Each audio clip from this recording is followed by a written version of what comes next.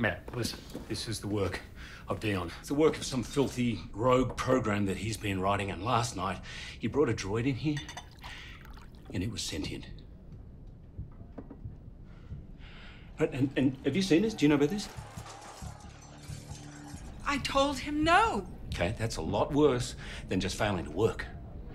So let's use this situation to make a certain other robot shine. Do it. Destroy that robot. Thank you, ma'am. Burn it to ash.